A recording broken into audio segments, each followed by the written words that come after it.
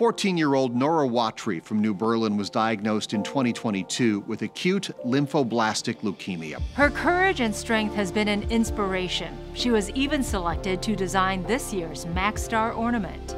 I'm honored to be the one chosen.